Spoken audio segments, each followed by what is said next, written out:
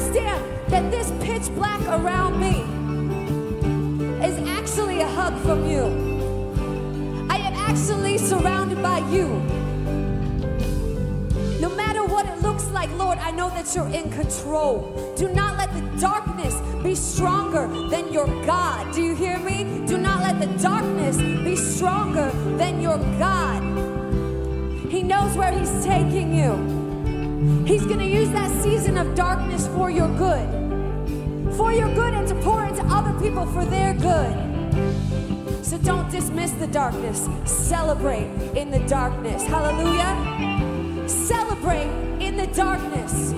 Celebrate in the darkness. The devil hates it. The devil hates it. He wants you to think you're stuck in the darkness forever. He wants you to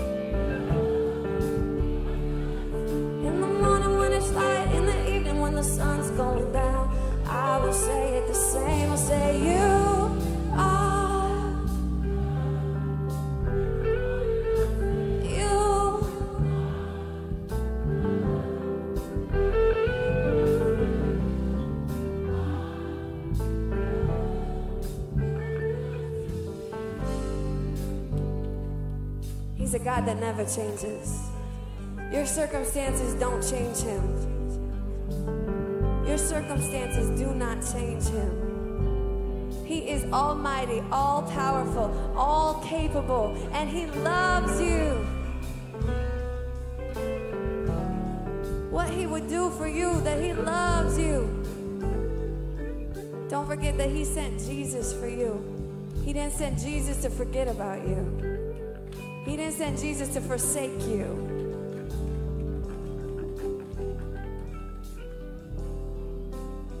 Now it's a good day because a lot of darkness tends to lift in this place. A lot of darkness tends to lift in this place. Amen. I've seen a lot of breakthrough in this room. In fact, I experienced a breakthrough in 2019 and I never left. I've seen people receive the babies they've been waiting for. Make some noise if you're receiving your baby. I've seen people experience financial breakthrough standing in the same seats that you're standing in. I've seen people get calls from long lost family members that they haven't heard from in years. Right where you're standing, right in these seats, is no different today. Jesus is the same yesterday, today, and tomorrow. And you know that our Father's gonna show off for Father's Day, amen? He's gonna show off for Father's Day. Hallelujah. There's nothing like a father's love.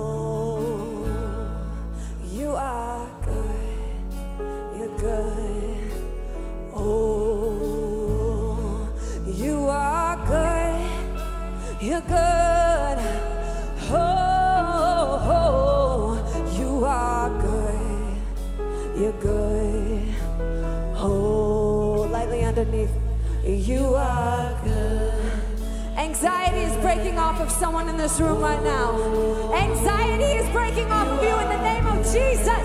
Anxiety, leave in the name of Jesus. Anxiety is breaking off of you right now. Lust, lust is losing its power over you right now in the name of Jesus. Lust is leaving you in the name of Jesus.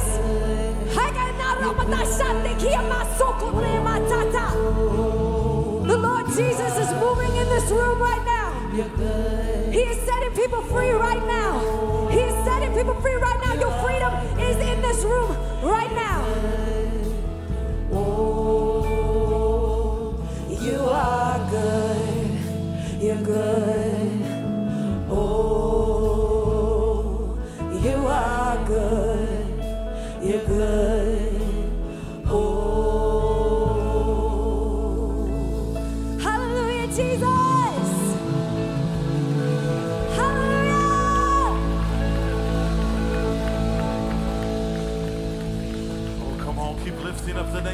Jesus in this place. If he's been good in your life, let me hear you praise him.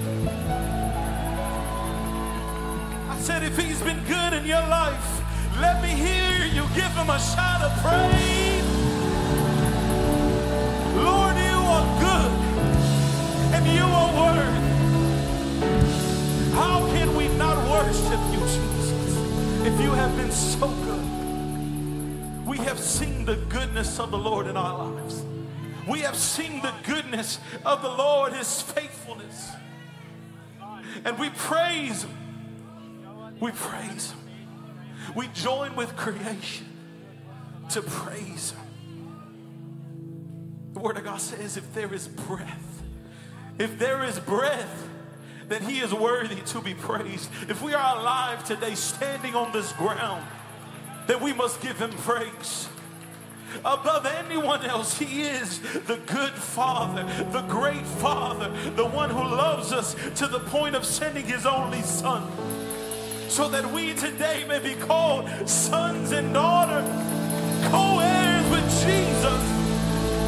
There is no greater news than that, that He is our Father. Oh, we worship you, Father.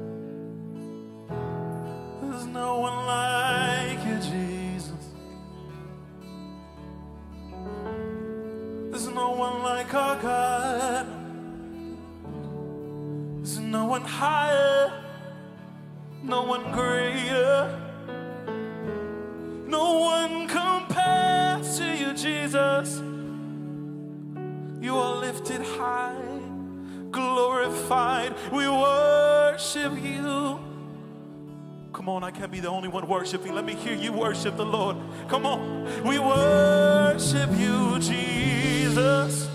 We lift up our song. We lift up our voice. We sing to you. You are worthy, Jesus. You are worthy, Jesus. You are worthy, Lord. Mm. 'Cause all of creation the song of oldest age, echoing heaven. And we join the angels as they sing. Mm. We join the angels as we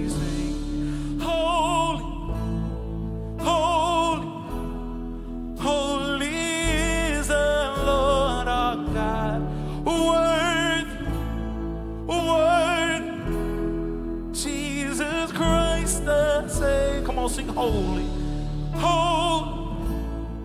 Holy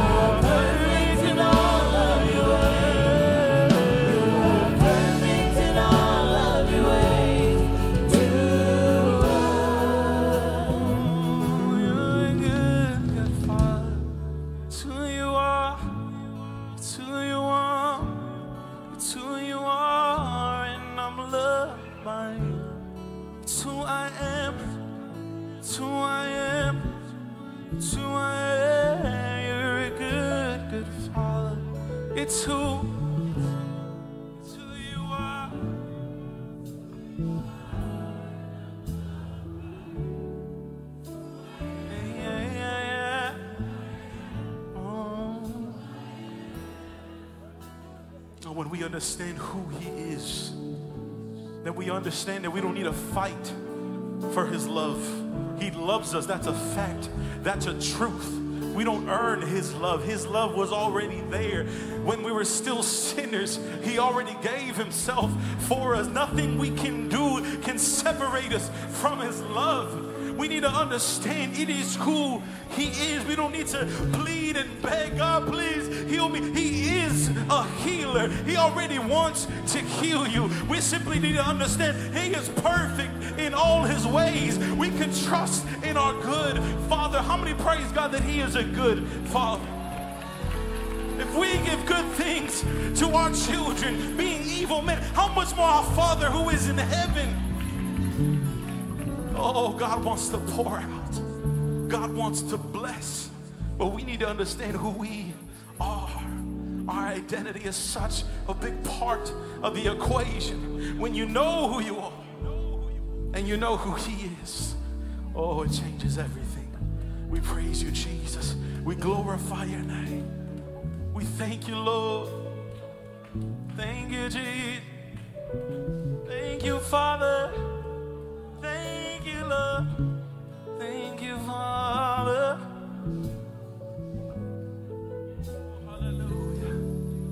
Hallelujah. Our Father is the one who turns graves into gardens. How many say amen? The one who gives beauty for our ashes. Only He could have, only He can, only He is able. Come on, how many worship this living God? We can't worship Him in silence. Where there is worship, there is noise. Where there is worship, there is shouts. Come on, if He's been good, if you got legs to jump, if you got hands to raise, if you got a voice to sing, oh, we praise you, Jesus. We praise you, Lord.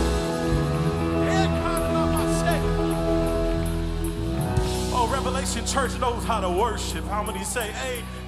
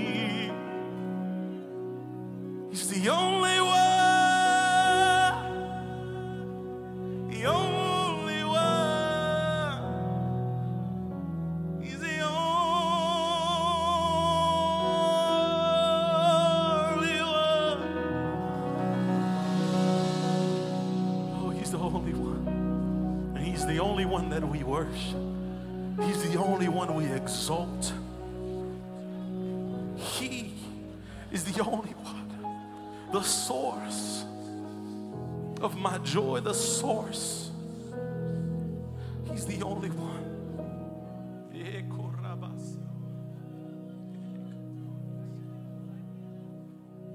We worship the only one, and his name is Jesus Christ. Come on, give him some praise. Give him some praise. Give him some praise. We thank you, Lord, for your faithfulness.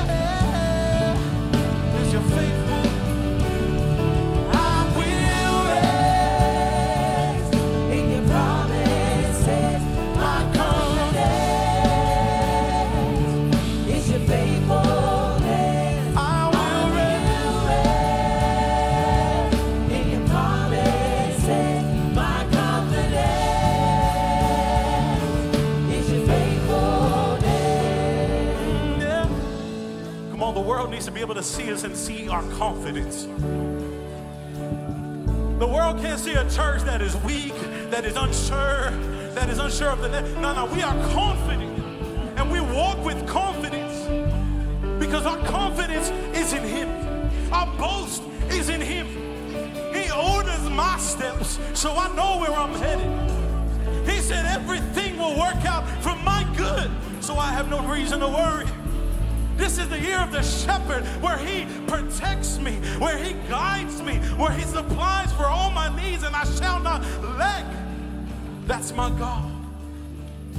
And that is why we can know and we can learn to rest on his promise.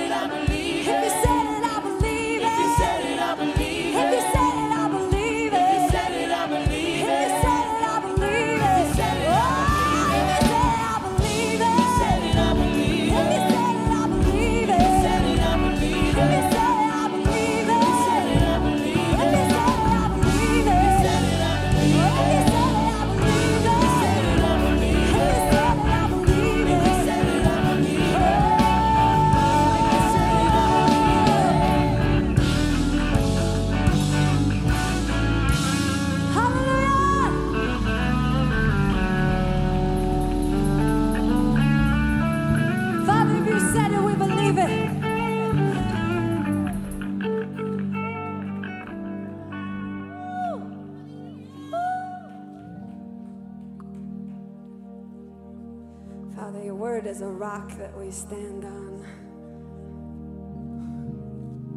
Anything that you have said cannot be shaken, cannot be changed.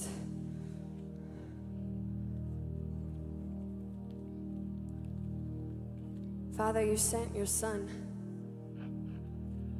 On this Father's Day, we talk about how you sent your son to die for all of these children.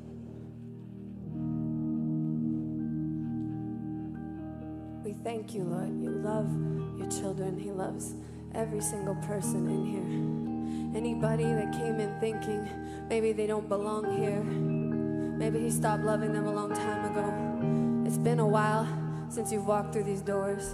You're still His child and He still loves you. He sent Jesus for you. He didn't send him more for me than for you. guys help me call it? Sing this one. It's called Worthy.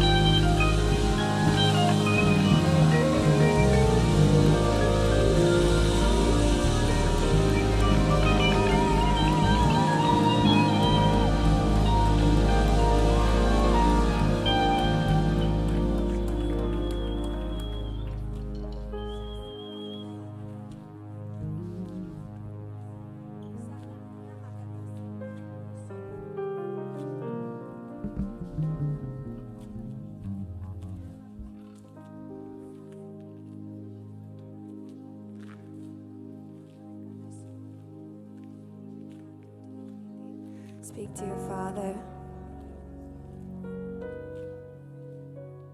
He's always speaking to you. Always. Sometimes we let other voices be louder than His. Sometimes we let people or our jobs or even silly things like entertainment be louder voices than our dear, dear Father's voice. I'm not calling anyone out because this includes me. But He's always speaking to you. And really, all He wants you to do is answer the phone. If your father called you on the phone right now, wouldn't you answer? Let's all just make sure that we're setting aside time to make sure we're answering that phone call. And that phone call is not in a rush. It's not between all the other important things we have. It's not while we're multitasking. Let's give him our full attention. Father, we give you our full attention. Focus right now on Jesus.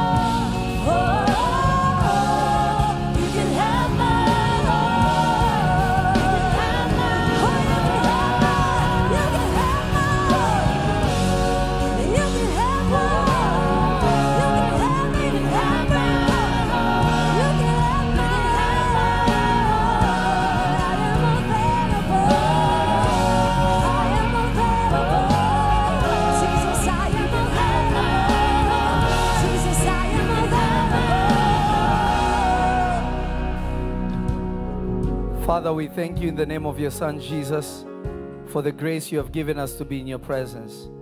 Father, exalt yourself, glorify yourself amongst us. Continue to show your face and shine your face upon us. Cleanse us of every unrighteousness, purify us of every sin, cause us to be pure before you, that, Lord, we may carry out your will upon the earth. Lord, lead me, lead your people on the path that is right, that your name may be exalted. Lift the burdens off us tonight. Father, help us to be everything that you want us to be by the power of your Spirit in Jesus' mighty name. Somebody shout, Amen. Clap your hands and say, Amen. Hallelujah. Hallelujah. Hallelujah. Hallelujah. Our God is good. Amen. Our God is good. Happy Father's Day to all the fathers in the house. We celebrate you. We love you. May the Lord bless you. May the Lord Jesus increase you. I want to wish my own spiritual father, Prophet Passion, happy Father's Day also. He has been there for me in ways that only God knows and my family knows. So, Papa, I am grateful. I want to say happy Father's Day to my uncles, to my close friends in ministry also. You know yourselves, if I start mentioning, it will not end. But yeah, happy Father's Day to you all and to all sons of Revelation Church and Revelation Nation all around the world. Happy Father's Day to you. But I also want to say Happy Father's Day to a man who took me and placed me in his family and took me as his own, my very own Papa Brian, the most handsome, powerful man I know, a special man that he is. He's, uh, he's still playing dad even now, making sure that I'm, I'm safe. If you cross that line, you get one. But also, when I came to this country, there's a man that raised me, and uh, I think he's one of the proudest fathers I know when he looks at me. When I came to this country, I didn't have anyone except him as a role model, as a father. And um, I remember him teaching me how uh, things in America and how they worked. I remember his first lesson to me was in America, you never mess up your credit. Everything in this country is credit. Hear me, I make these mistakes. You cannot make them. He gave me very good counsel when I was uh, working in the music business. He's the first one that introduced me to Pro Tools. And he trained me and he taught me and he taught me, and I took it and I go crazy. Anyone who knows me, I have um, obsessive personality in a good way, in a positive way. That when I get into something, I have to be the best at it, or else I'm never going to get into it. If I say I'm going to do this, trust me, I will do it until kingdom comes. So I did it so much. I worked on what he showed me so much that he changed my name to plugins because I knew about every software, how it worked, every update, what went wrong. And uh, this is a man I love with all my heart because without him, the truth is, I would not even be uh, where I am because it's because of his family that Revelation Church started in their living room. So you are here because of him. Amen. Uh, you can clap better. Amen. Happy Father's Day, Mzee Onyango. Hallelujah. Hallelujah. Hallelujah. He's a very low key guy. He doesn't like a lot of attention, but I love you big time. And I know you know that. And I always see how when you look at me, you're extra proud. It gives me motivation. Happy Father's Day. Hallelujah. Hallelujah. Clap your hands, clap your hands. And I have one more shout out that is uh, very important to me. I want to wish Happy Father's Day to my father who created me, who made me, who ordained me a prophet before I came into this world. The King of Kings, the Lord of Lords, the Lord Jesus, a father like no other. When I am wrong, he corrects me. When I am lost, he finds me. He cleanses me pure. I thought he was your father too. I celebrate him that he cares for me so much, that he placed his spirit within me, that I will continually know his mind, that he will never leave me nor forsake me. Happy Father's Day, Lord. Happy We love you, Jesus. Amen. Hallelujah. Hallelujah. I felt that in my spirit. Glory to God. Glory to God. I, I want you to know this that men carry a very big burden. And yesterday I was with my grandfather. Oh, I forgot to wish him happy father, happy Father's Day, grandpa. my bishop is. Uh, I love my bishop. Let me tell you, I've never, and this is the truth, complete truth. I have never met anyone who knows the word of God more than this man. Ah, Bishop is a different kind of man. And he truly, truly loves me beyond what I could imagine. He's given me advice and guidance, and sometimes he just he would text me randomly, 2 a.m. in the morning. I'm like, Bishop, you should be asleep. He'll be, no, I'm thinking of you. I love you so much. So, to my bishop, Bishop Noel Jones, I love you so much. Happy Father's Day. And I had a wonderful day spending it with you yesterday. And I learned a lot, like I always do when I'm with you. My greatness, which is just in its genesis, is because I am surrounded by great men. And I know how to be a son. Uh, the reason why many of our young people who have great destinies in God may never get to the realization of what God has for them is because you don't know how to be good sons. And to be a son doesn't mean somebody is older than you, because my spiritual father, I'm actually a year older than him. But to be a son is to be somebody that can be instructed. To be a son means that you have an inheritance to receive. That's what sonship is all about. Is that God has placed somebody, somebody with something that you are supposed to inherit. And that person will instruct you, will lead you, will guide you. If they tell you go left, because you know their purpose is to help you to get where God wants you to get to, you will turn left. Sonship is not about somebody who agrees with you. A father is not your friend, he's your instructor. Hallelujah. Hallelujah. Around, around my own spiritual father and other fathers, and there are many of them, I am like a small boy because I am. I may be successful in many things, maybe more than them, but the 1% they have is able to push me even farther. Are, are you hearing what I'm saying? So, when you are in a posture to receive, that is what sonship is. I can sit with Bishop, and Bishop may have taught me something a week ago. He will bring it up again. I will never act like he told me that before. I'll say, Hmm, Bishop, tell me more. Then within that same conversation, he will add things I never heard and I never knew. And before you know it, I grew more than I was when I walked through that door. Amen.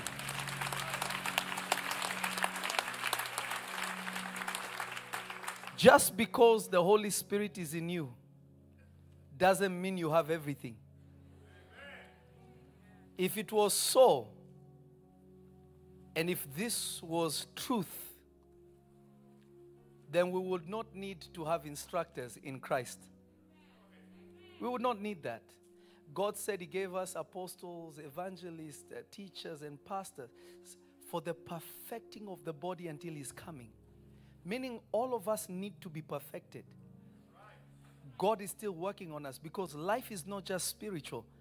And I've discovered that some of the most pivotal, pivotal things in your life are actually in the physical, not in the spiritual. There are experiences that you cannot substitute for a physical experience. I don't care how much you love God. When you have to love His people, it's a whole different ball game. You can say, I have the love of God all I want. Until you have loved His people, who some are almost unlovable. Thank God for grace. Amen. You will realize your need to go and sit under bishops and fathers to tell you, like, listen, this is what church is like. This is what happened to me. So, how did you navigate it? I did this and did this and did this. This is how your mind has to be. There are things God will not teach you. Only an earthly father or a father figure can teach you. My father died when I was eight years old. So, my experience of father, of a father, was not somebody that I ran to. Daddy, daddy, I had. I never had that. I don't know how that looks like. I saw my cousins, I saw other people running to their fathers, jumping on them, but we didn't have that. Is it not true, Masengo? That's true, very true. We didn't know that what that looks like. It's it. We don't know it. Our, you know, we didn't have that, but we learned from fathers that God gave us. Like an example for me was Reverend Simon, my uncle. He was a father to me. He didn't birth me, but he was a father to me. Uh, Mr. Onyango, father to me. My spiritual father, father to me. Apostle Gershon, father to me. Bishop Donko, father to me. Papa Brian, father to me. I picked up, I realized that I have so many fathers. I, done, I did not just need one biological father, but God gave me so many other fathers. So if you're missing your dad today and you feel like your father is not there, understand this or he was never there for you or he rejected you, whatever the case may be. Understand this that you are so special that God saw that you need more fathers. Amen. Amen. Amen. Ah, you didn't get it. Amen. Hallelujah. Hallelujah. You needed more than one.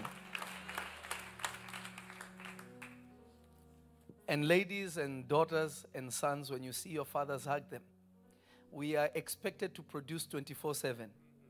Nobody checks on our feelings, no one checks on our emotions. Very rarely do people, and I'm not saying this so that you do that, very rarely people check on me and ask me, uh, they'll say, Prophet, how are you doing? Ah, I'm well. Uh, nobody ever really like, how are you doing? You, the person. I'm not talking about the prophet, you. Very rare. I'm not saying I need that, but it is good to have that. We are expected to produce 24 7. No one expects us to be weak. Everyone expects us to figure it all out, to have it sorted out. Yet we are just kids that grew also. We are just uh, trying to overcome certain traumas and emotions, but and and hard work. Because if our family fails, it is on us. If things go wrong, it is on us. It is difficult. Nobody just comes and, and hugs you and holds you and says, I want you to know that we see you, we love you.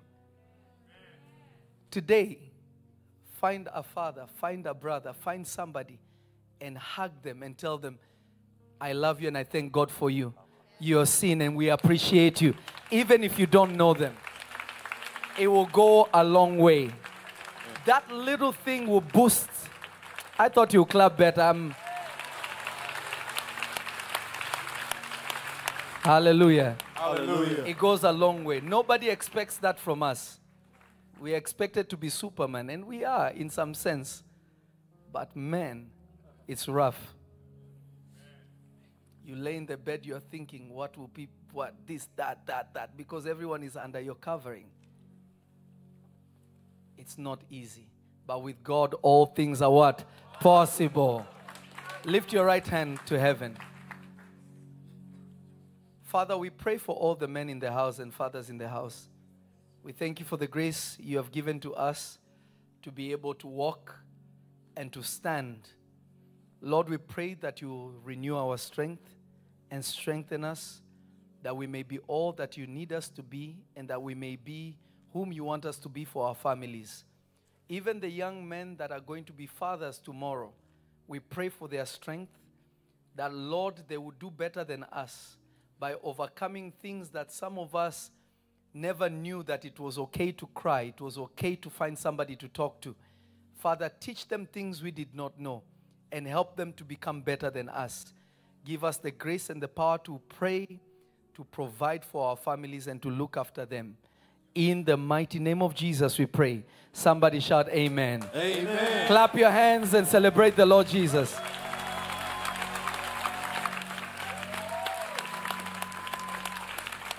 Remember this if you can. Father's Day is the least celebrated holiday on earth. Yeah, it's a real thing. So today, go buy some cards and something, give it to somebody. Hallelujah. Hallelujah. Hallelujah. Hallelujah. I think the person controlling the air conditioning is prophetic because it's nice and warm now. Let's grab our Bibles if we can. Glory be to God.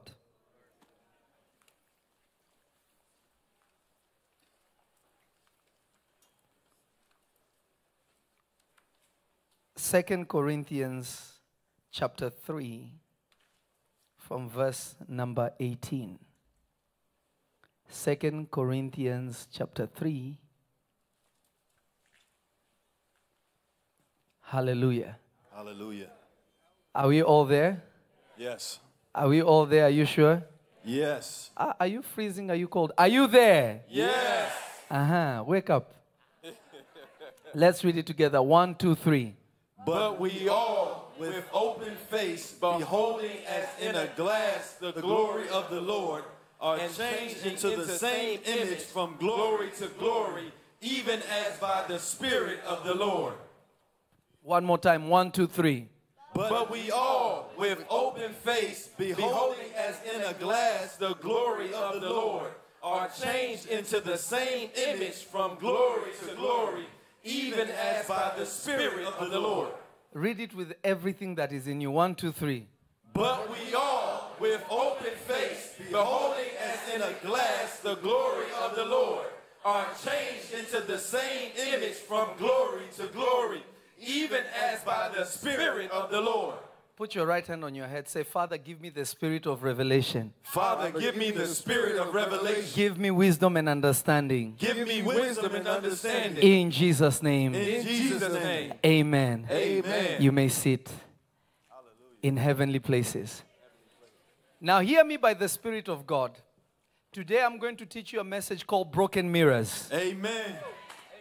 Look at your neighbor, say, Broken mirrors. Broken mirrors. Shake your neighbor, say, Broken mirrors. Broken mirrors. Uh, find another neighbor behind you, high five them, and tell them, Broken mirrors. Broken mirrors. Uh huh. I like those high fives. now, hear me by the Spirit of the living God, and I want you to understand this that in order for you to become what God needs you to be, you have to comprehend that if you don't understand spiritual things and the way of the Spirit, you are in trouble. Not only do you need wisdom and understanding, but you need spiritual wisdom and understanding. You see, most of our problem is not prayer, but it is spiritual illiteracy. We are literate in scripture, but we are not literate in spirituality. We can understand physical things, but we cannot comprehend spiritual things.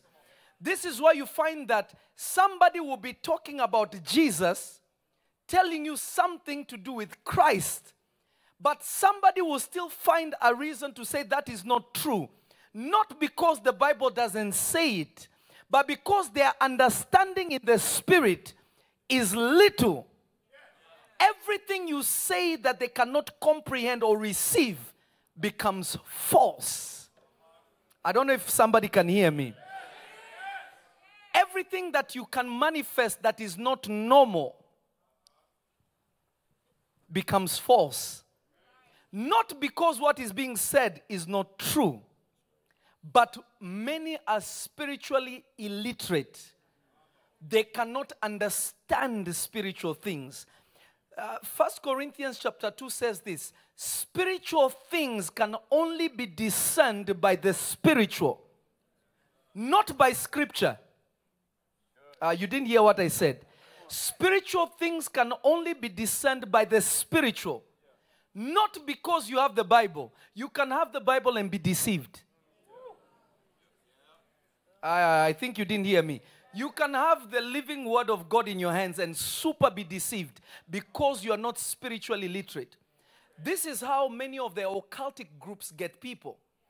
You find that somebody who is in an occult, like a Mason, a Freemason, carrying a King James Bible. I, I don't know if you can hear me. Yet, this is an occultic practice, but they're carrying the word of God. And they'll tell you, no, we believe in the word of God. Everything in the word of God is true. But their worship is to somebody else.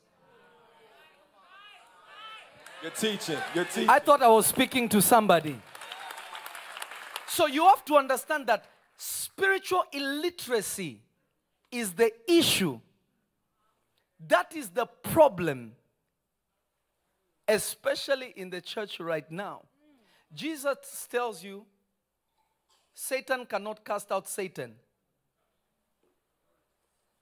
Satan cannot cast out Satan. Demons will never fight each other. Because a kingdom divided amongst itself can never stand. But you see, Prophet Lovy casting out demons. Foolish people say, ah, he's imparting demons. Who told you demons enter people like that? But all this is because when you are spiritually illiterate, anything that is operating beyond your understanding becomes false. But this is because of broken mirrors. I, I feel like I'm talking to myself. Amen. All this is because the mirror we are using is broken. Mm. You see, when the mirror you use, sometimes when I go to stores and I, I love to shop, as you can see. when you go and shop, one of the primary things you have to do is look at your outfit. Now, there are mirrors that are distorted, not broken, but distorted. You stand there and you see yourself going like you look like you're zigzag. Or you look at yourself, you see yourself a little like you gained a few pounds. And others, you look at yourself, you see yourself extra skinny. Come on, come on. Now you have to understand that you don't see yourself. You only see what the mirror reflects of you. Come on. Come on. Come on. I, I feel like I'm speaking to myself. Right now, in your mind, you have an image of what you look like because you looked at a mirror. Before you left your house, you did your makeup, you checked yourself, you stood, pocketed your hands, looked at.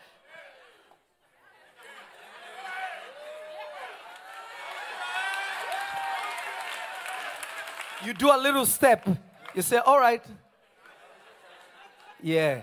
Then when you walk out of the house, the confidence you received from the mirror. I'm preaching to myself. Come on. The confidence you received from the mirror is what makes you walk. Yeah. Uh-huh. It will make you greet people differently. It will make you feel better about yourself because of the testimony of the mirror. Come on. You're teaching. Maybe I'm speaking to Overflow or Revelation Nation online.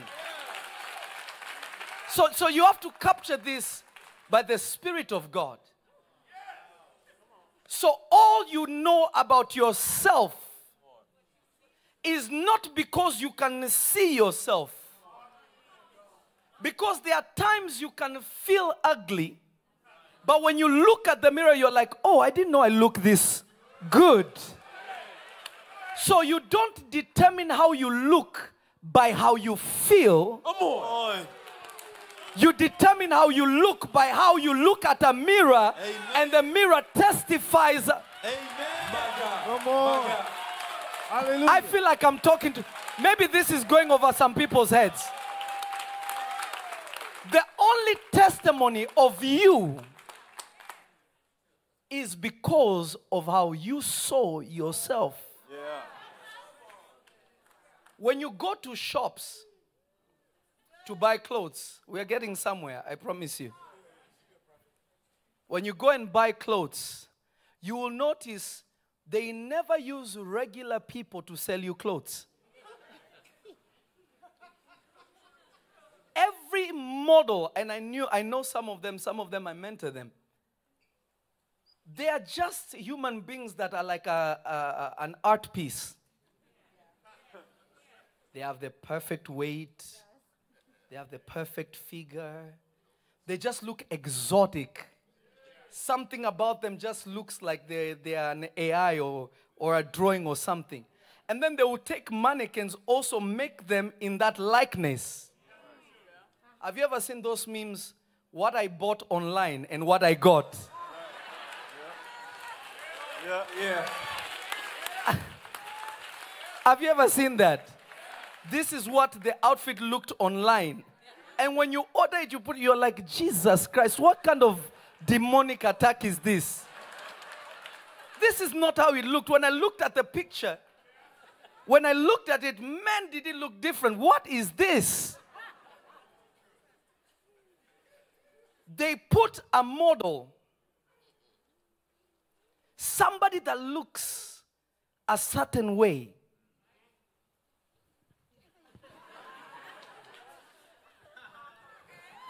When you pass that window and you look, you are not seeing how good that person is because the idea is to sell you something. You start to imagine yourself in that outfit. Amen. Man. Come on. Come on. Yo, you're teaching. Come on. When you look at them looking at, you're like, oh, I think, yeah, I think that's kind of like my. You go in the store, you realize you are ordering a few sizes bigger. You realize it's not quite you, but in your mind, you're forcing it because you saw something that reflected a certain image that you're trying to fit into because that is the, the idea of perfection according to the time and the era that you're in. When I was growing up in Africa as a young boy, if you are skinny like me, you are poor. It doesn't matter what house you have. When people look at you, they will say, ah, your pockets are completely empty. For you to display that you're rich, when you have a big belly, no six pack, all the boys killing yourself doing crunches, you go to Africa, you'll be disappointed. You'll be extra disappointed. A man with a big old belly, he'll be the one that will call boss. You with your six pack and with your money, no one will even look at you. Because for them, that is the image of prosperity. I'm trying to bring you somewhere to a certain understanding. I hope you can get it. In countries like Uganda and other countries in Africa, certain tribes, when a young woman is about to get married, your aunties and your sisters and your mom take you to the village. They will keep you in a hut or a small house, and you will not be allowed to work or do anything. They will feed you fatty foods. You drink milk four times a day. You eat cheese. You eat everything that will make you gain weight. Because the more curvy you are, the more meaty you are. When your husband now comes to do the wedding, he's saying, Yes, I have. s- I'm Amen. keeping it. Re- Amen. Come on. Good. I'm keeping it real with you. For them, that is what is like. mm, I have something to hold on to, as if the other one you didn't. Now I, mm, now this is beauty. Uh-huh. Uh, tell them, Apostle. especially in the posterior section. Uh-huh. it's true.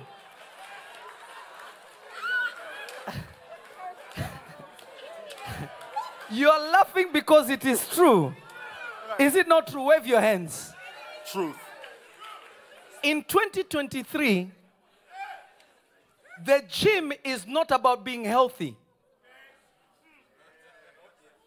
If you hear a young lady saying, I am going to the gym, they are not going to be in shape to be fit so that they live long. They only work two or three muscles. That's true. The teacher, prophet. Teaching good, prophet.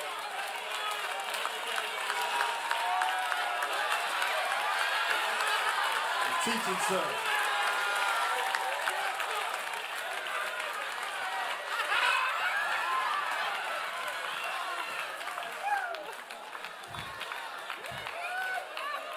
Only one place is being worked.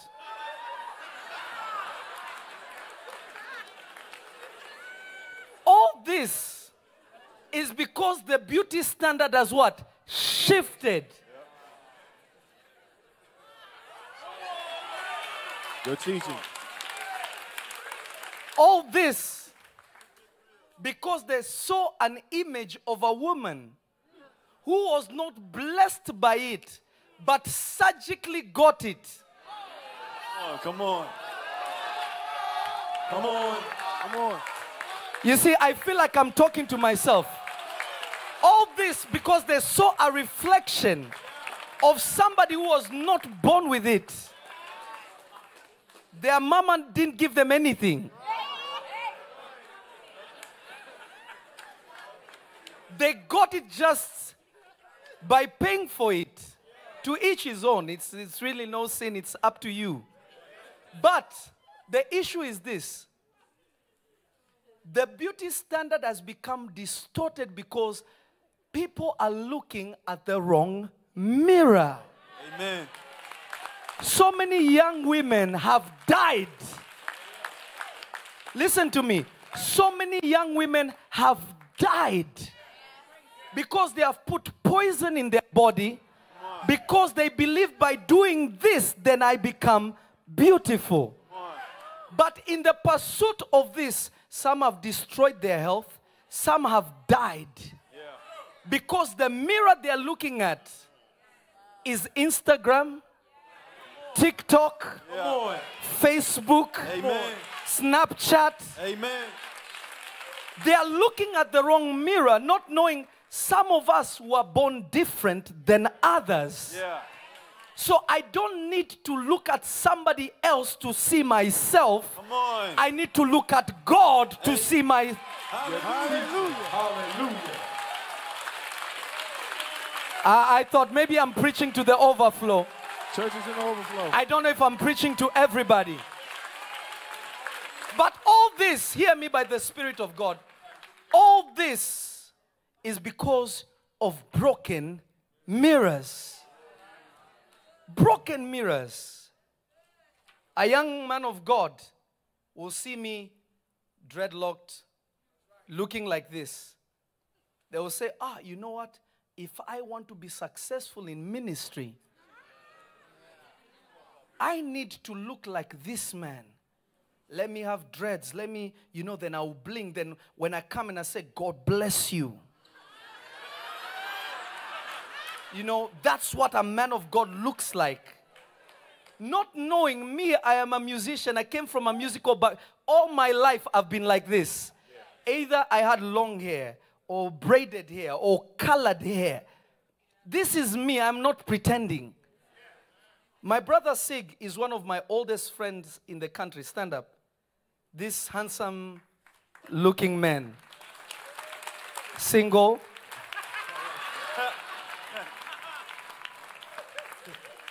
I met Sig working on music. And when I met Sig, Andrew was probably three, a month, maybe a month old, right? He was just, he just came fresh, he was just born. So I've known Sig for 14 years. 14 years. When he met me, I think I had, did I have blonde hair at that time? I had a mohawk and a. Yeah. This is me, I'm not pretending. No, not. Did anything about me spiritually change? No, you've been the same since. ever since.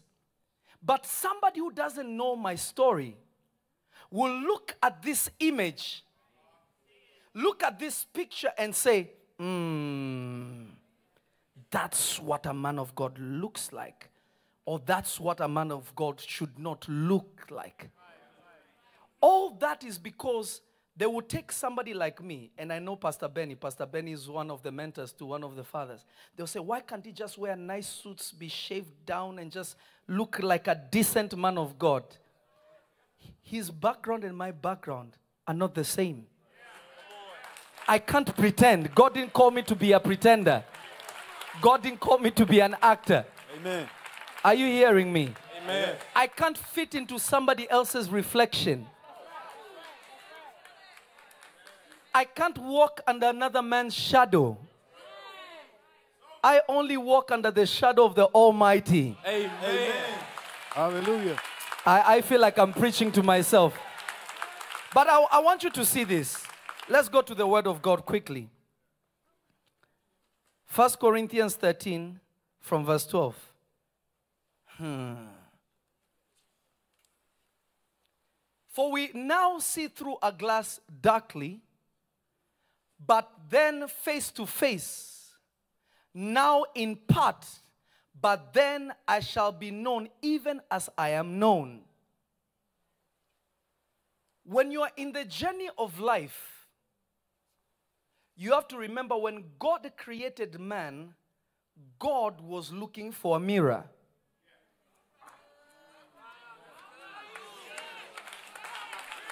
Genesis chapter 1, verse 26.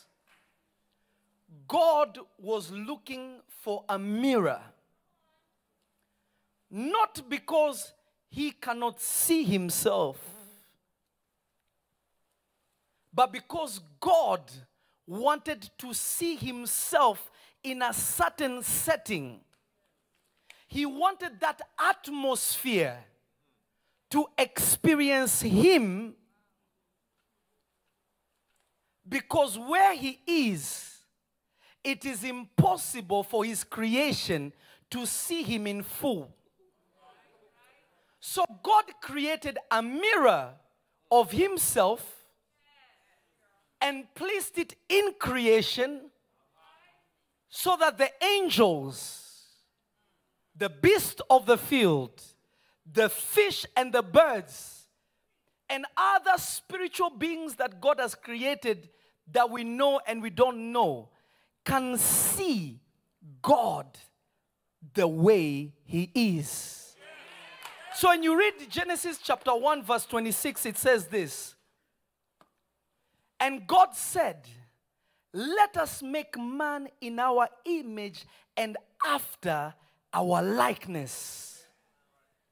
Now, God being omnipresent, omniscient, omnipotent, being who He is, being the God of all creation, it means whether you are black, yellow, green, slender, fat, short, tall, you are reflecting a side of God that has never been seen in creation. Amen. I feel like I'm speaking to myself. You are a display of God's virtues in a unique and specific in a peculiar way that no one else can ever do. Listen to me. There will be great men of God after me, but there will always be one of me. Amen. Amen. Amen. I'm going to say it one more time. There will be other prophets after me, but I will tell you, there is only one prophet, Lovy Elias. Amen. There will never be another duplicate of me. It cannot happen. Why? Because I am uniquely made for a unique time, for a unique people. Are you getting what I'm saying? Yes. So, so capture this by the Spirit of God. So, the devil knows, he understands because angels were present when men were being created. If you want to watch about and know about angels, I did a whole teaching, uh, I think two or three days ago, maybe four days. Uh, it's called uh, Who is Speaking to Me? Is it a familiar spirit or, or an angelic spirit? Because people who don't know scripture and they are spiritual, spiritually illiterate, they have never seen anyone prophesy with an angel speaking to them. Yet when they read their Bible, it is everywhere. Mary was given prophecy about the child in the belly, Gabriel. Daniel was told about the future, Gabriel. The name angel itself means messenger. That's what Malak means somebody that delivers messages. But because they are spiritually illiterate, they will say, Well, what is the point of the Holy Spirit being in you? You don't even know the work of the Holy Spirit inside of you. Are you getting what I'm saying? But all this is because the mirror they are using is not the Word of God. They are using tradition and religion culture of the church, not actually the word of God, to determine who carries God and who doesn't. They are using what their pastor used to do. I, I have a word for you. I just feel the Lord saying in my heart. Nothing wrong with that. Then somebody comes and tells you, the angel of the Lord stood by me and he told me this and this. And God is saying this. They will say, hmm. Angels don't give you words. Yet, their whole book, this whole book, 98% of the prophecies in your Bible, angels gave it. Even the Ten Commandments that you keep, that the Bible tells you that the Ten Commandments were given by the finger of God. You don't even know what the finger of God is. If the Bible says we are the body of Christ, what would the finger of God mean? You go to the Gospels, you discover that the law that was given to you, ordained by angels, you didn't keep. When, when Moses was on the ma- mountain, yes, he encountered God, but he encountered God through a being. The Bible says God sent his angel to burn in a tree. And when he saw Moses seeing the tree burning, not being consumed, then God called unto Moses from the midst of the tree. If I stand here and I say, I, the Lord, will bless you, it is not me who is talking. I can't bless you. If I am a vessel, angels are also what? Vessels. Your whole book of Revelation that people use to determine the future, saying that you see rumors of war, look at how people look at the lawlessness, look at this. The whole time, John was speaking to an angel. This is the revelation of Jesus Christ that God gave unto him, and he gave it to his angel and to John. You notice John seeing an angel saying, I am Alpha and Omega and the beginning and the end. And he bows to worship him and he stops and says, Don't worship me, worship God. I am your fellow servant. If indeed it was Jesus, he would never stop him from worshiping him. But you see, when you don't know scripture and you're spiritually illiterate, you will look at something that goes beyond you and call it demonic. Why? It is not their fault, it is the mirror they're looking at.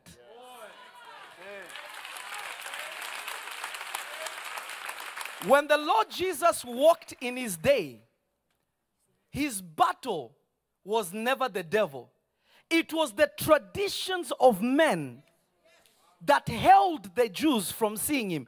Jesus would tell them this He said, You keep the traditions of your fathers and honor them even beyond the word of God. You come to your house, you wash your cups, you wash your hands as you are commanded by tradition. But the word of God, you don't keep it to the same standard. Why? Because when you look at your fathers, it's a mirror of you. Bishop said something very wonderful to me yesterday when we were speaking on the panel. My bishop said this to me, said, It is very difficult for people to learn like this. Looking to God and learning is difficult. It's easy for men to learn like this. That's why kids always say, or this is a saying I've heard kids don't do what they are told, they do what they see. Because you can only imitate a mirror. You cannot be instructed by what you cannot see. I feel like I'm talking to, Amen. I feel like I'm talking to myself. So so understand this by the spirit of God. Understand this by the spirit of God. The battle is always a battle of whose mirror are you looking at? It is not a battle of, of, of anything other than whose mirror are you looking at?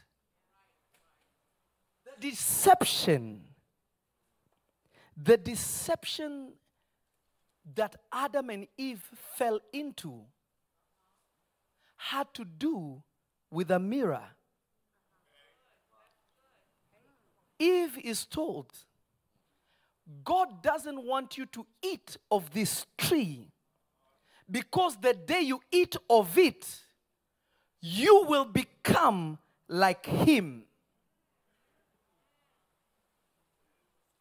Not knowing, if not knowing, I am already created in the image and the likeness of God. The devil knew this because they were present. If you read the book of Job, it tells you that they were present when man was created, how they shouted for joy when everything was being put together. But Eve was not conscious, Eve was not present, Adam was not present.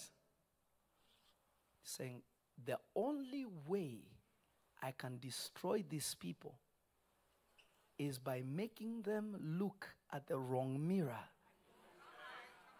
You look at Genesis chapter 3, the Bible tells you, Genesis chapter 2, it tells you, and the man and the woman were naked and they had no shame. So notice, you cannot talk about shame unless shame exists.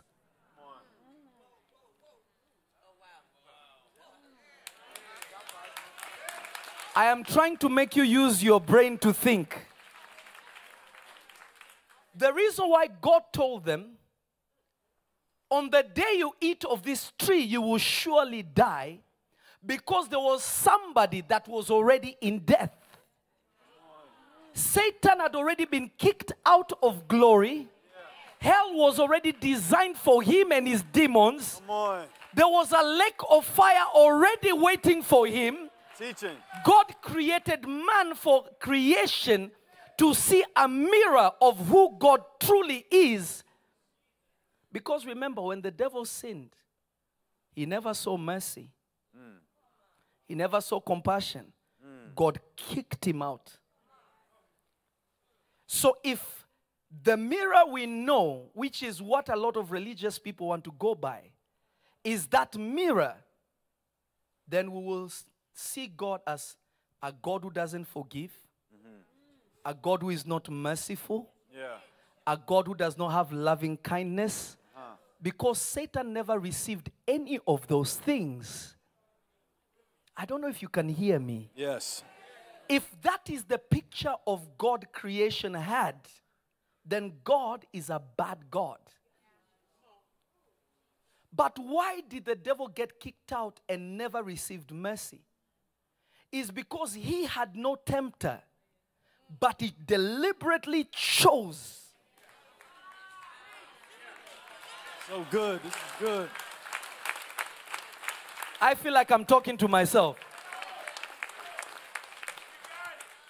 Delibera- deliberately chose to turn against God and to pursue his own way instead of the way that he was created for.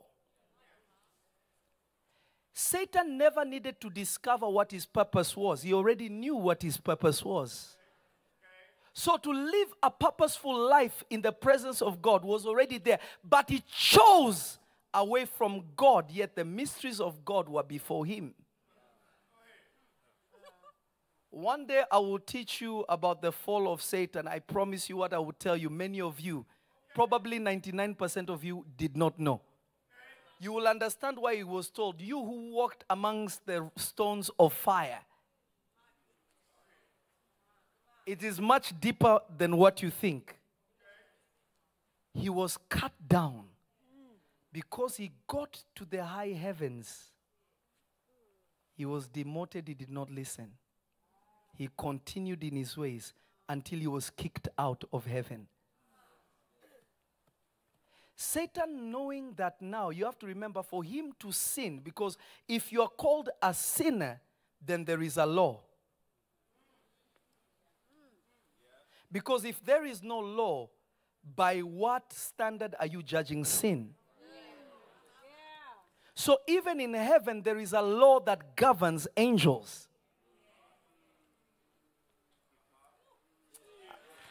I went too deep. I'm sorry. Maybe I'm talking to Revelation Nation. Maybe let me see my overflow people that are always on fire. I, I, I, feel like I felt like I'm by myself here. So there are certain mysteries that we will talk about that will shock you. that will 100% shock you because you cannot be a sinner. You cannot be wrong unless there is a standard to judge what is right.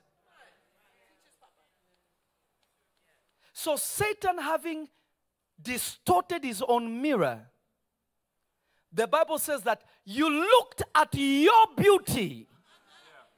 He forgot that the beauty of his radiance was because his eyes was on God. Come on.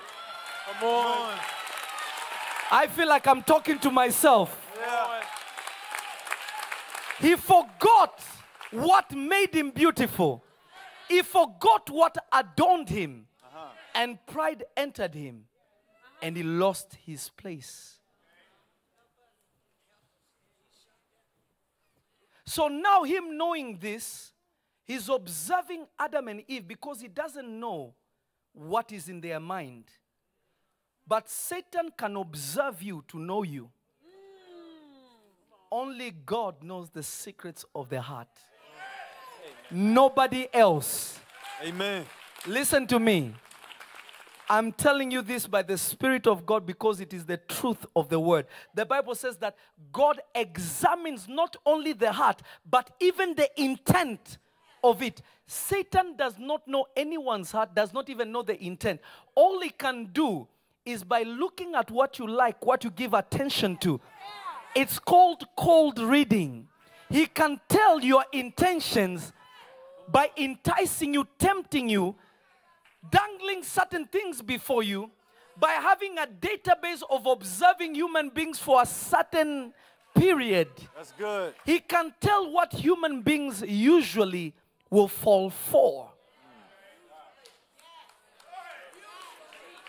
That is why when he came to Jesus, he tempted him with every other thing that every other human being struggles with. He tempted him with food.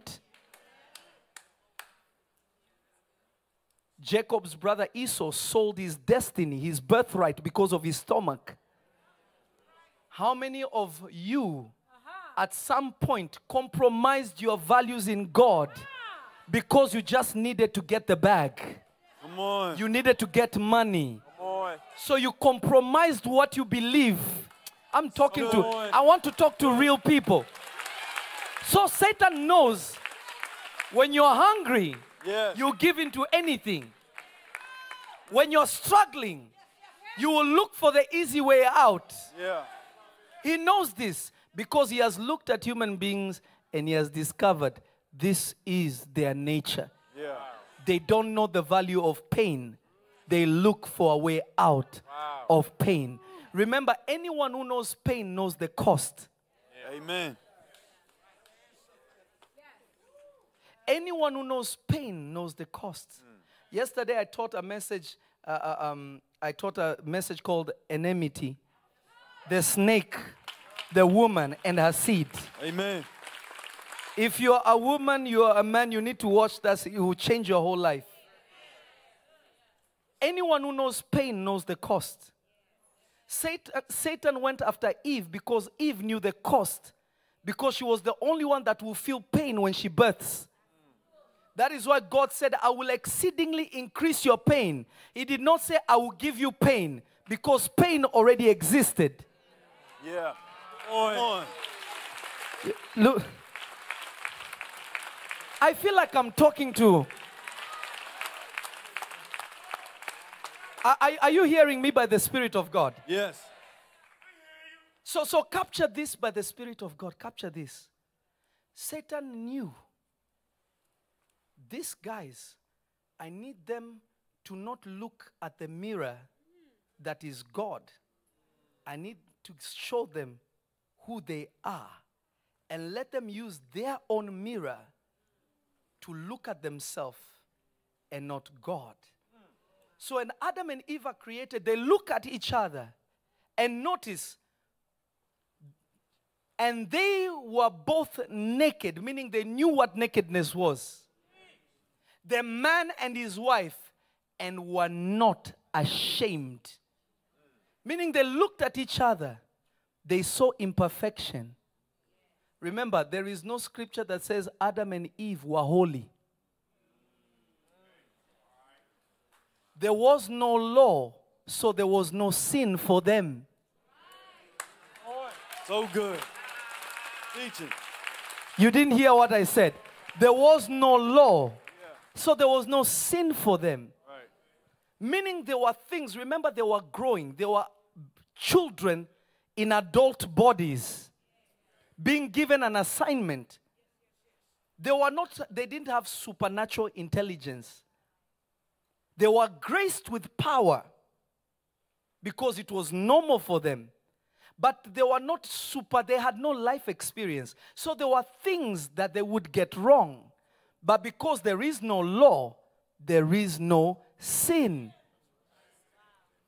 Remember what the Bible says? It says, The law was given not for you to keep, but for you to know what sin is.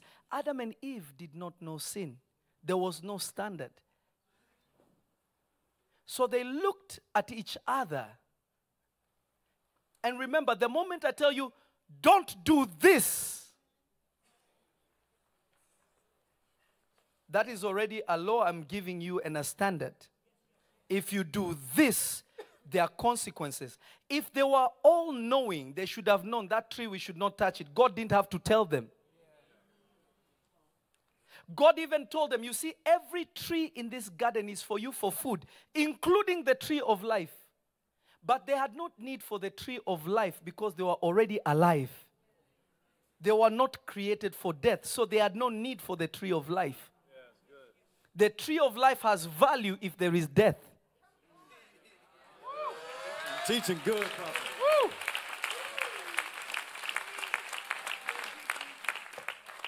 But because they were still growing, they thought to grow they needed knowledge.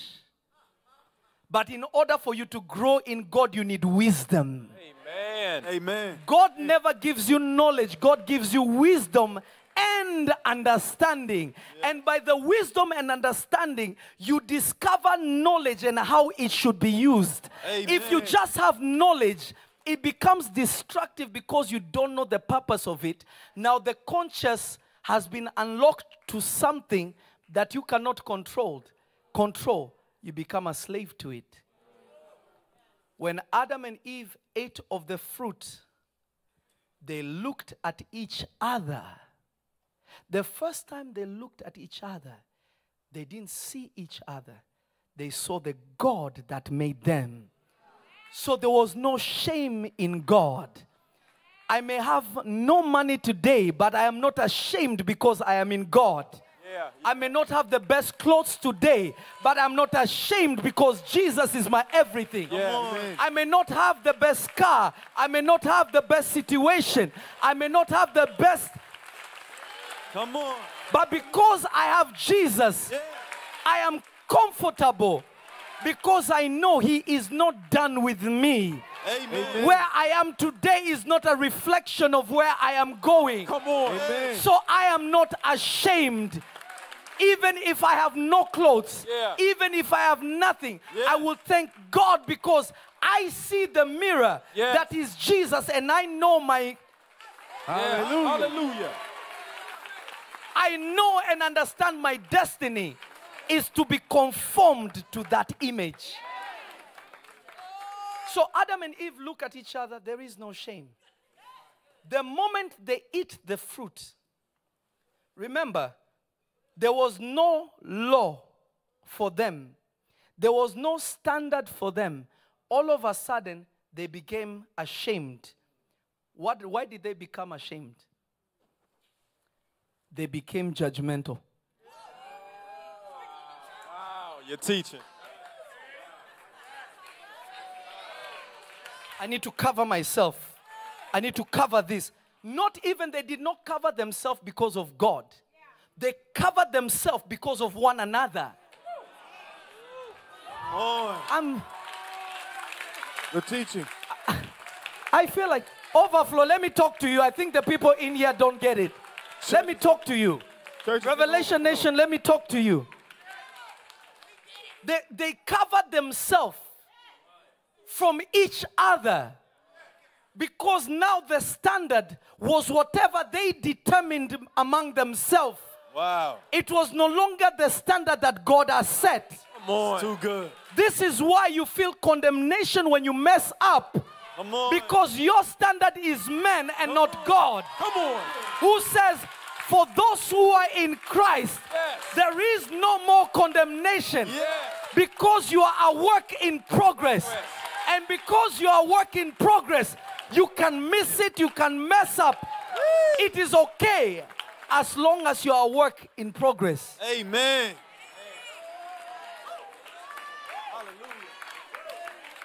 I don't know if you can hear me. Yes. Hear you. Ah, sit for two seconds. Actually, I have three minutes. And 22, 21, 20 seconds. Are- Are, are you getting what I'm saying? So they started covering themselves. And then when God came, they went to cover themselves even more behind bushes. Mm-hmm. They went to hide behind bushes when they heard God looking for them in the garden. The reason why many of you cannot grow in God is because you are still sewing figs. Come on. Come on. You are trying, you're trying to dress up before you come to God. Come on. The helping prophet. Many of you are trying to cover yourself. You're trying to dress yourself before you show up before God. In order for God to heal you, you have to repent. Who did Jesus ask to repent when he was healing them? After he healed them, he showed them his love and compassion. Then he said, Go and sin no more. Because if you need to clean yourself up, then what is the blood of Jesus doing? So good. This is why many of you plead something that is already working for you Amen. because you're still looking for a way to justify why you should stand before God. Yet when God formed you, you are naked. When you came out of your mother's womb, you are naked. When you were growing up, in fact, you didn't want to wear clothes, you just wanted to run around, they have to chase you. Put on some diaper. You had no problem playing naked because you are a child, you are innocent. But you being a child of God, God says, Come to me. You say, Lord, let me put on my diaper properly first. Let me dress myself in my onesie. Let me cover myself so that when I stand before you,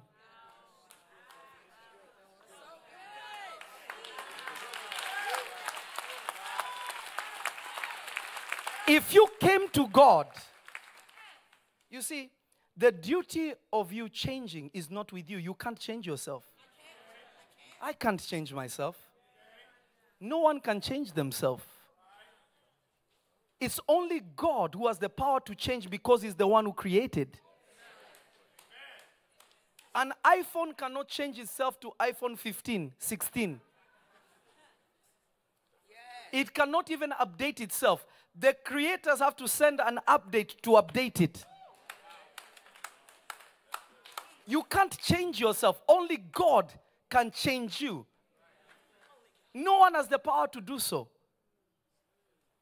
So, so many of us have quenched the Spirit of God, the power of God. The reason why spiritual illiteracy is continuing is because a bunch of people that are naked have covered themselves to present themselves a certain way before God. And because God is gracious, you see, I, I, oh, I, I was, somebody asked me a question. Somebody asked me a question. And uh, you have to understand that I'm sorry to say this, and I'm going to say this with love. I'm not saying this with a bad motive. Nothing I will ever say is with the wrong motive. We are here to serve the Lord. But I'm going to tell you this America and Europe, let's say, you know, the, the mainstream stuff. But let me speak specifically about America. America loves God, but America is not a spiritual nation. That's the absolute truth. That is why you're finding that people who are young in Christ, they got saved maybe two or three years, four years, five years, can get online and rebuke elders who are walking with God, who have done things for God. Even just by ranking, you don't qualify to speak. Not saying that the young cannot correct, but there is a manner in which you ought to do it. There is an honor that will come because you understand spiritual things. Somebody sent me a video yesterday, and people send me videos all the time. Somebody sent me a video of somebody casting out a demon out of somebody. And uh, the title of the video was sent to me some uh, uh, um, deliverance from a spirit of divination that entered somebody through Prophet Lovy. That was the title. No, it's okay. I am teaching you, not I, listen, I don't need to defend myself. I'm teaching you to show you how unspiritual and spiritually immature the church is, especially on this side. So the person is talking to the, oh, repent. I repent from uh, Prophet Lovy's teaching. I repent from this. I repent. That's fine. It's not a big. I repent from this. It says, "You spirit that came in through uh, Lovy uh, and his teaching, come out." And the person said, eh. First of all, if first of all, let me just show you the hypocrisy and the foolishness. Let me show you the hypocrisy and the foolishness of these immature people. Let me just show you because you need to know these things. If you're ignorant of it, some of you may ask questions, well, uh, why is this happening? I will explain to you. Because I'm a, listen, I am a prophet by birth. I didn't adapt a title, not because I started casting out demons, then I called myself a prophet. No. I know this thing. So, so hear me by the Spirit of God. Hear me by the Spirit of God. Number one, anyone who listens to me and thinks, let me give you a general example. Demons can enter people in different ways. But you have to understand demons operate in people because of a legal right. No one can lay hand on you and give you a demon. Demons will come into you. Remember, the deep calleth unto the deep. You can never, somebody cannot just give you a demon. Anyone who says that is spiritually illiterate. It doesn't work like that. Demons enter you because of a legal right, either by blood from your ancestors or by your own conceding to things, but not because somebody was teaching, let's say, the worst teacher in the world. Let's assume I'm the worst heretic in the world. The least I can do is damage your way of thinking, but I can never give you a demon by what I'm saying. If there is no legal right, I can distort your knowledge. But to give you a demon, that's actually impossible. How many of you hear people cursing like sailors? Everywhere you go, F bomb this, F bomb that, F bomb. Did a demon hear you enter you because you heard F bombs? You watch movies all the time. People cursing and doing this. Did a demon enter you? Some of you even like gossip, which is a dangerous thing, poison. You heard people talking about this one and about that one. Did a demon enter you because you're in the wrong conversations? No. Are, are you hearing me? So the person is saying, You demon, who are you? What is your name? The woman says, ah. Say, What's your name? Say who you are. The woman says, uh, uh, He's saying, I am tricky, tricky. I'm like, This was comedy to me. And then he says, I know who you are, spirit of divination. Okay, fine. Tell me, what divination did that woman do? The woman with the spirit of divination in the book of Acts, she could do spiritual things. What divination was this woman doing? You see, we talk because of foolishness. Nonsense. Says, come out. Oh, the woman started throwing up. We thank God that God delivered her. But let me explain to you why was she delivered? God is merciful because if God chooses to use you, He doesn't use you because you know. God uses you because of His grace. When God has loved you and He has chosen to use you, He doesn't use you because you're perfect. He uses you because He has chosen to do so. There are things you thought were right five years ago and God was using you. Five years later, you realize that they were in error. But it never stopped God from using you. Why? Because when God has graced you and somebody is indeed afflicted, if you say in the name of Jesus, God will still deliver them. Not because you're right, but because He's merciful and He's a God of grace. Amen. Yeah. Are you hearing what I'm saying? Because we are products of grace, not because you're right. For we do not wrestle against. Let me let me show you this. Let me finish with this because this has to do with the mirror. I just thought of it because it's hilarious. Second Corinthians chapter 10, verse 45. Are, are you hearing what I'm saying? Many of you say, ah, yeah, ah, ah, I plead the blood of Jesus. I plead the blood of Jesus. Show me one verse one apostle ever said, plead the blood. God is still using it because God, God knows the intent of their heart is to bring somebody to redemption. Even though your words may not be accurate, but they're coming from the right place. So God will still intervene. You can't plead what was for God. The blood of Jesus was shed for us to be reconciled to God. The blood of Jesus is on the mercy seat in the highest heaven, already speaking good things, better things than any other blood can speak. But when people read Revelations 5, I believe, they overcame him by the blood of the Lamb and by the word of their testimony. They assume that it means plead it. They are not reading context. They overcame. They overcame by the blood of the Lamb. Why did we overcome by the blood of the Lamb? Satan used the law against us because we were enemies of God.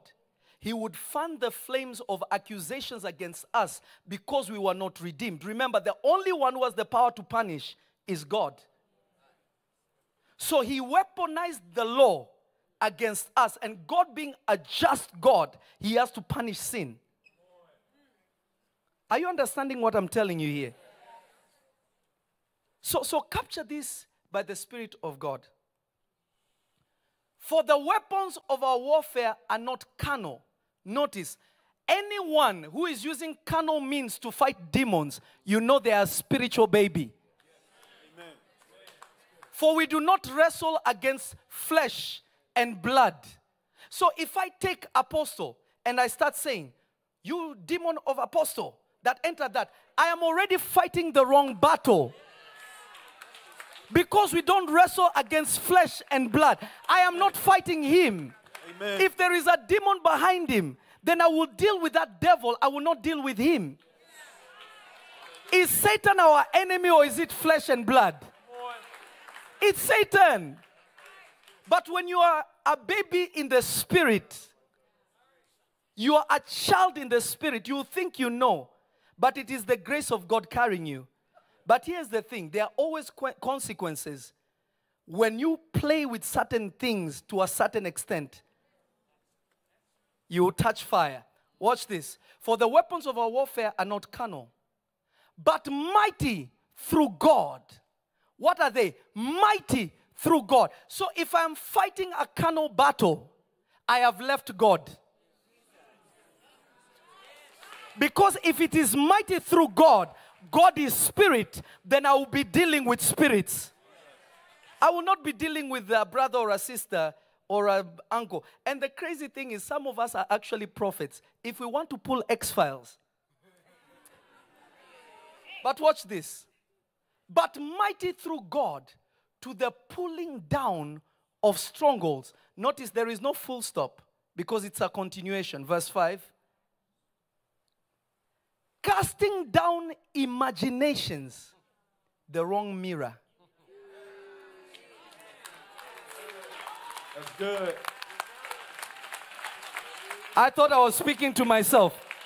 The first thing you pull down by the Spirit of God is the wrong imagination. Because that is a reflection. If you go to Proverbs, I believe it's Proverbs what? I wrote it down somewhere. I believe it's Proverbs 27, verse 19. Uh, I go to Proverbs uh, 27, 19 quickly and then we'll come back. No, I think that's the wrong one. Oh, yeah, yeah, no, it is the right one. Go back, go back. Iron sharpens iron, so a man sharpeneth the countenance of his friend. You make your friend better. 18, keep going. Then look at this. Uh, no, I think you got it. It was face to face. Go back to that one. It was 19? Yeah, go to. Yes, as 19, 19, uh-huh. As in water, face answereth to face, so the heart of a man to a man. And when he's saying water, there he's saying the reflection. He's talking about your reflection. When you see people fighting other people, just know that is the image they see of themselves. So good. So good. Teaching. They are distort, they are distorted their own backgrounds. You see, I discovered this. People who like to fight is because they were fighting all along in their life. So everyone that comes, they want to. This is childhood trauma. Good. Some people need therapists, not deliverance. Because they are manifesting their childhood traumas. So everyone is like an enemy. This one is this, this, fighting everyone. Why? Not demons, everyone. Why? They are dealing with their childhood problems. Maybe they didn't have father's love, brother's love, maybe they were the least, whatever the case may be. Take me back to where we were. Casting down imagination, the wrong reflection. Mm, I'm about to finish. Go back, go back to Corinthians, please.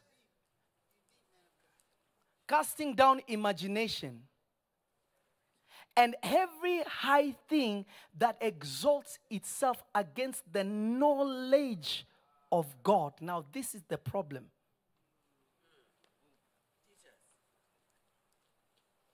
Not only imaginations, because if your mirror is distorted, then it is easy for you also not to see God as He is. And every high thing that exalts itself above the knowledge of God. This is not talking about the mysteries of God, it is talking about the person of God Himself. If I am looking at the wrong mirror, when I look at God, I will also see God in a bad light.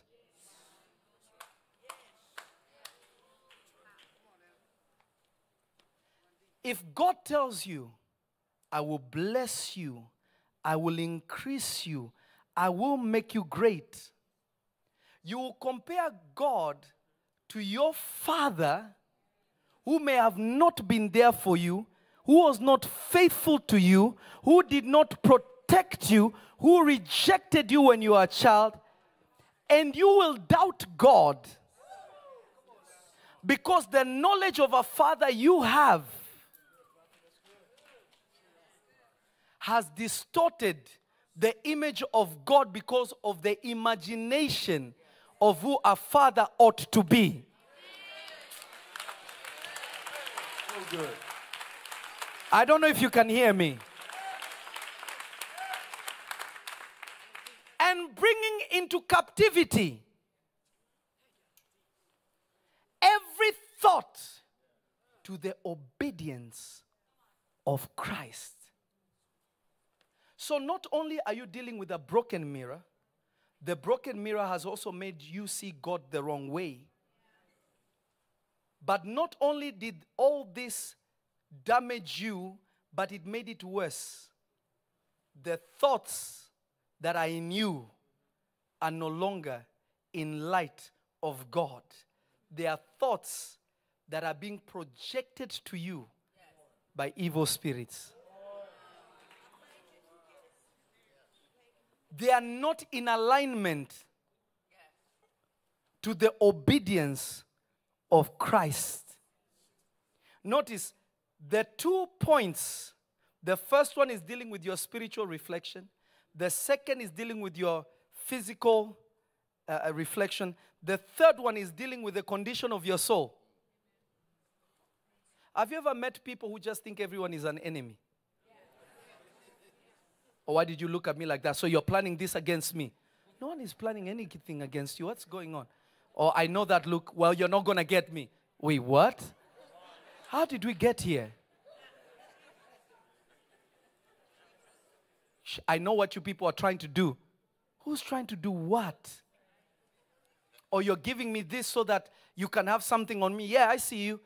No. It's just like, wait, what is going on? You know, the thoughts in them have been afflicted.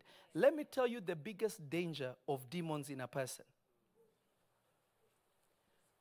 When a demon enters a person, his primary objective is to destroy this your imagination, the knowledge of God, and the thoughts in you so that you can walk in disobedience. Because Satan lost his place because of disobedience. Because disobedience is like witchcraft. Are you listening to me? So even when a demon comes out of pers- a person, that is actually not deliverance. It is the beginning of deliverance. If you don't get the word of God inside of you, you do not know the truth. And because you do not know the truth, you are still bound. Amen. For you shall know the truth, and the truth shall make you free. Hallelujah. So without the truth, a demon may have left, but what they did to you, you would bind yourself. You would have done the devil's job. I don't know if you can hear me. Are you sure you can hear me? Yes. Wave your hands if you can hear me. So, so, so, so, hear me, hear me as I'm finishing. Your mirror and my mirror, as we wait for the musicians to come up. You're looking at the wrong mirror. It's their fault, not mine. If you are in Christ, let's look at this quickly. Let's finish. James chapter 1, verse 23. James chapter 1, verse 23. Listen to this. For if any be a hearer of the word and not a doer, he is like unto a man beholding his natural face in a glass or a mirror. Verse 24. For he beholdeth himself and goeth his way, and straightway forgetteth what manner of man he was. Verse 25. But whoso looketh into the perfect law of liberty. Huh, Hear me. This is your mirror. When you see yourself looking broke, you look at this mirror. Amen. Amen. Hallelujah. I'm talking to the wrong people. when you see yourself sick, you hold this mirror. Yes. By his stripes, I am healed. So you look at the book, you see Jesus. And when you see Jesus, that's what you really look like. Amen. For those he foreknew, Yes. he also predestinated to be conformed to the image. Yes. Meaning, every time you look at yourself and you don't see Jesus, pick up the word of God. Come on. Hallelujah. Hallelujah. Pick up the word of God and use the work of the word of God as your makeup kit. Come on. Use the word of God not just like a mirror, but as your makeup kit. If you're sick, take the word of God as medicine. Put it where your body is broken, Hallelujah. and you will see yourself as you. Hallelujah. When you're struggling, You pick up that word. You are above and not below. By looking at that, your imagination is transformed. Yes. You begin to see yourself successful. Yes. As the Bible says, you shall own vineyards. Yes. You shall own homes. Yes. You realize I am actually not poor. When I look at myself, I'm looking at the wrong reflection. The difference between a physical mirror and the mirror of God is that when you look at God, you are changed. But when you look at yourself, you are bound. Because man cannot change you. Only God carries the power and the grace and the ability and the mercy to change. Yes. Amen. Amen. Amen. Amen.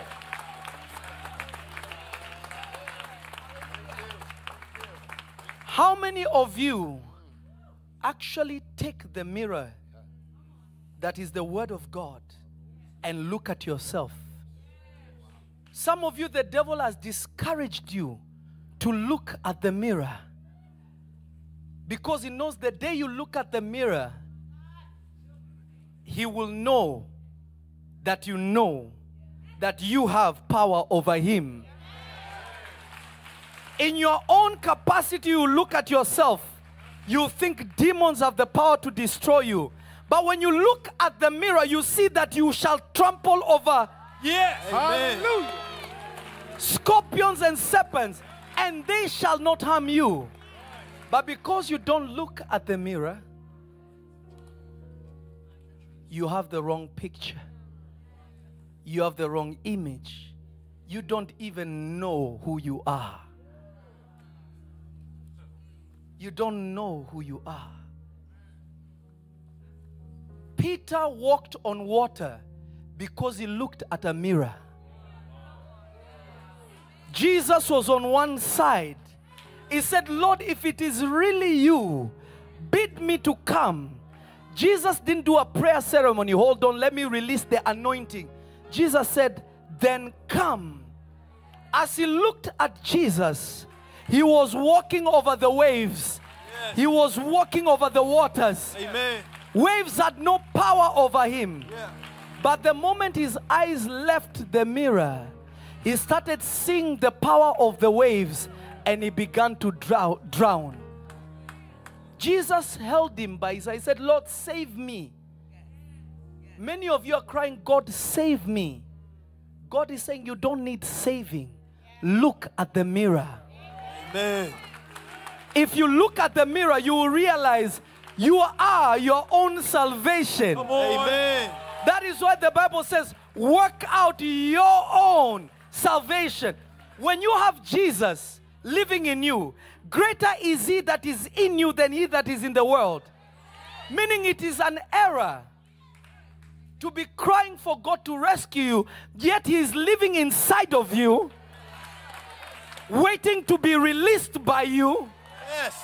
because through him you can do all things. Philippians 4.13 i can do all things through christ who's but you're busy saying god save me.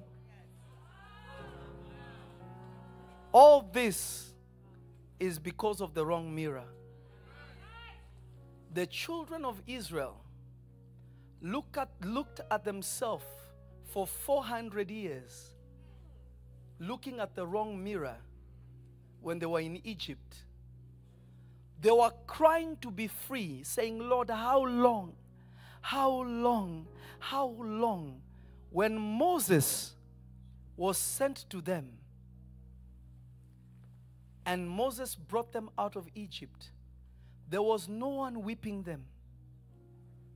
They didn't have to work for anybody. They didn't have to be under bondage and affliction. They didn't have to be in any of these things. When the going got hard, they wished they were back in Egypt. They began to praise the graves that were in Egypt. Yet they were not even allowed to be buried where the Egyptians were buried. They were not allowed to live where the Egyptians lived. They were not even allowed to marry the Egyptians. They were completely segregated. They were removed from society. You are a slave nation. They began to say, Moses, did you bring us here to die? Were there no better graves in Egypt? Meaning they never saw themselves leave Egypt. Their bodies left Egypt, but their mirror, their mirror is still looking at Egyptians. Is still looking at the life in Egypt. It is more difficult to free a free slave. Mental captivity is worse than physical captivity. If you're mentally captive, you can escape with your mind. But when you are bound mentally, it doesn't matter where your body goes, you're still bound because remember, man looks with their eyes but sees with their heart. So if your soul is bound, corrupted by false and true lies of the enemy, it is actually more difficult to deal with because you cannot rebuke lies.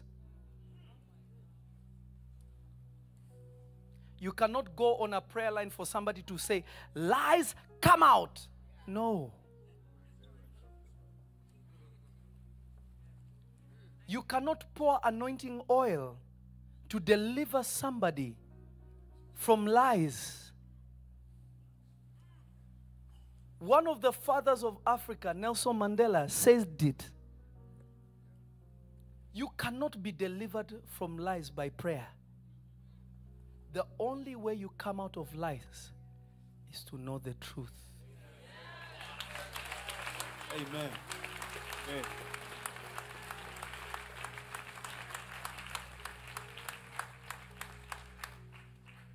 I won't keep you long because of Father's Day. I want you to go and celebrate with your families. But I want you to hear this and hear this by the Spirit of God. Eat from the king's table. Look at yourself through the mirror of the king. Amen. Let it be what feeds you, not the opinions of men not the ideas of men, not the capacity of other men, but the truth that proceeds from the mouth of God Himself.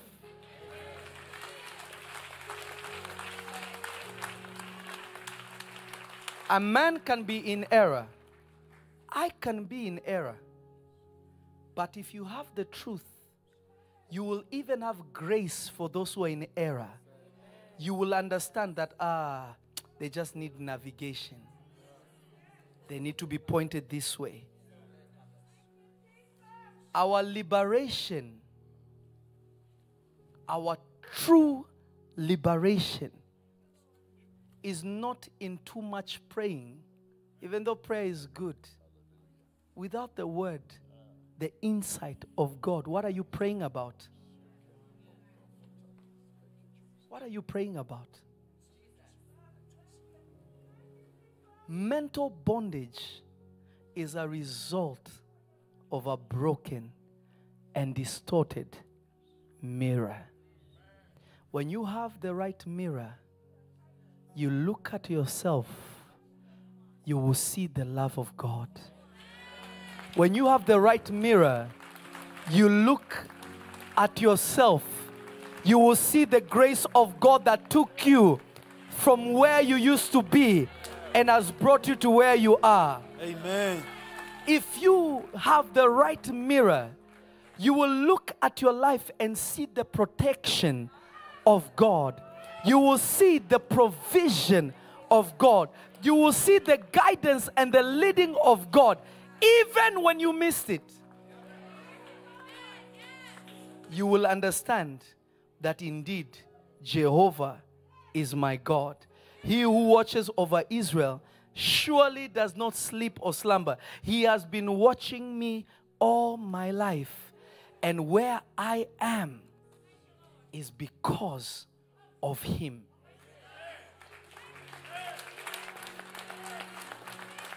I want you to stand up.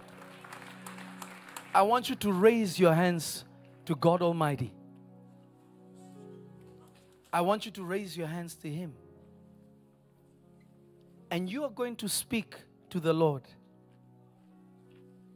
And you are going to tell the Lord,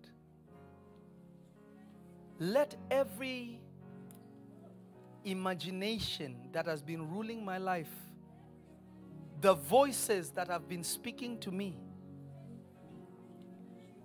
that have put me in a place of confusion, the arguments within myself,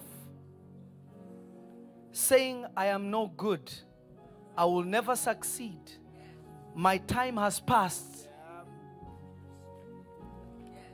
Let those thoughts today come to the obedience of Christ. Because I know you did not give me life for me to die in the wilderness. You ordained me for the promised land. You ordained me for the promised land. Lord, I pray, let the lies of the enemy today, because of the word of God that is in me, through the words I've been hearing over the years, let your spirit bring it to my remembrance that my heart will shift towards you. Lift your voice and begin to pray. Lift your voice and begin to pray. Lift your voice and begin to pray. Lift your voice and begin to pray. That has been Rinda magete korena sande baganda vaze. I remove it today, oh Lima Lord. gunde mande Cause rosso to look your mirror, Lord. Rupa Cause la me to look at the word to see the reflection of myself, oh makaya Lord. Every confusion with the myself, gande sande every thought Lipa sande magande that has caused me to look at myself Every imagination, I every remove it, oh Lord. every thought, God. And I look at the mirror, I no longer which look is at the your broken word. mirror, God. I look at you, me who I God. The correct image, God. Masete Cause me to sarabasa. remember Rina exactly magana who you basete. made me to be. Lipa na The head and basete. not your voice. Lift your voice.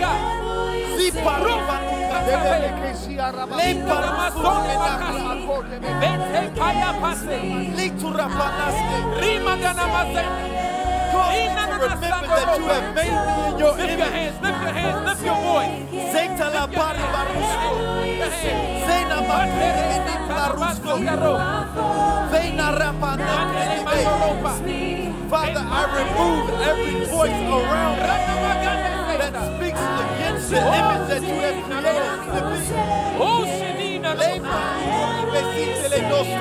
Y por una venga la rafa tu rebequine bendice la rumi mika sekora bakari bason de leitiste lingo ruma na bakan baruko de veste bakire lingo rafa Zole Rosa Magana Basta Miri Magana Manore Benitole Itamarupa Rana Canabasta De Carapa Sule Benitre Di Vesto Ipa Sane Kista Roka. Zote le mari magari benisi Mili la Pando bahate. Limate. Le pari barapa de bese. Yes, rapa. Thank you, Lemando. image. Lemando. Manda Ligo Roma Sete Bato. Leitu rapa, kisura mosoto. Ligo Rusa. Arabasante le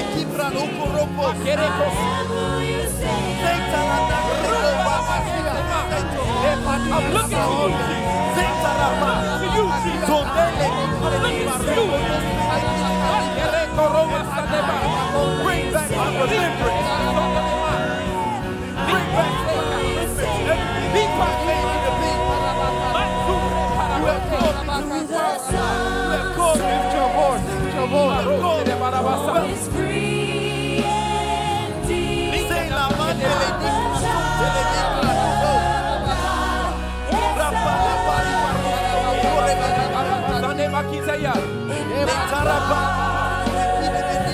Rinso rina na bazose. Place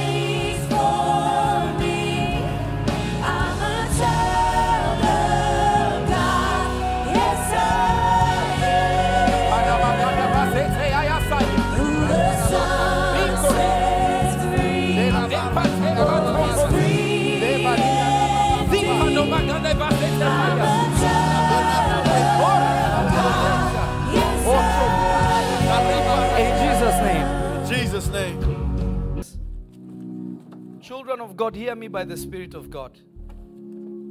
Try your best. Hear me.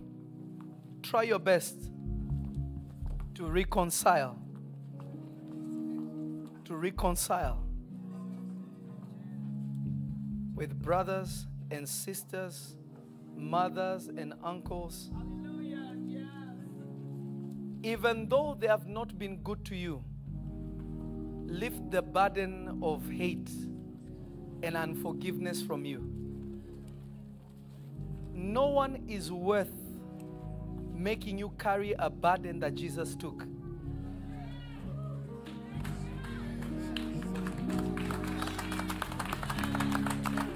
Don't allow somebody to have control over you to that magnitude. Some fathers were not good. Some husbands were not good. Some children were not good. Some sisters, some mothers. Yes, true. Everyone deserves forgiveness. Yes, we thank you, Jesus. Thank you. Carrying grudges is the most nonsensical thing to ever do. I don't even know if that's a word.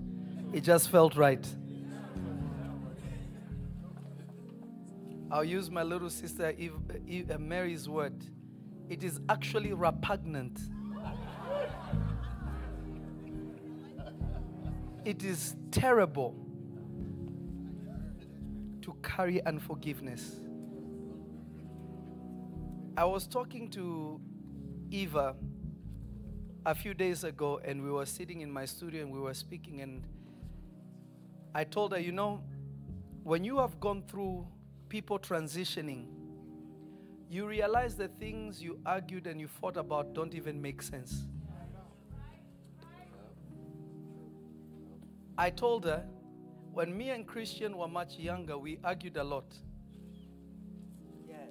argued a whole lot, but that's normal with every sibling. You go back and forth. But I said, I rather have him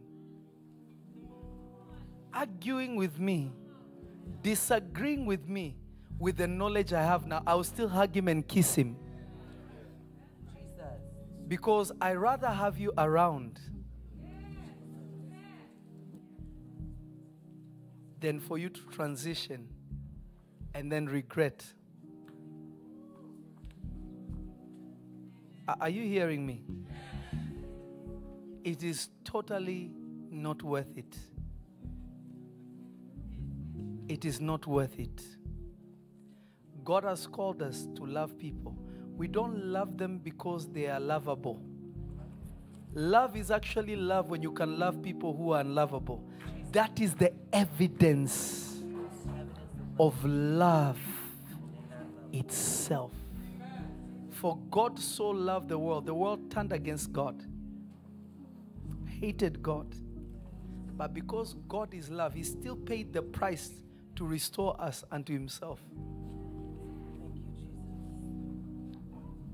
Even if they don't respond, you will cut the power of the devil over you by just saying, you know what? Hey, whoever it is, I love you.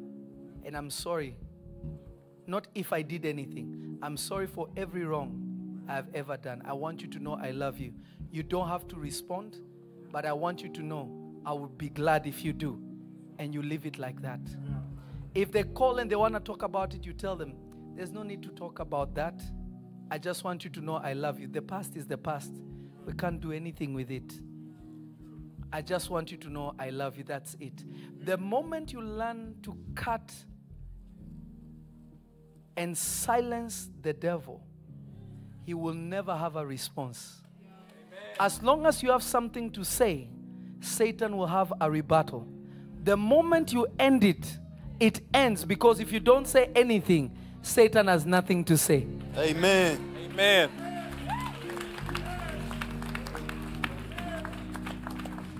Did you hear me? Yes. Father, we pray for all families and all that they represent. Their children, their brothers, their sisters, all the ones that they love. Lord Jesus, you know them even more than they know themselves.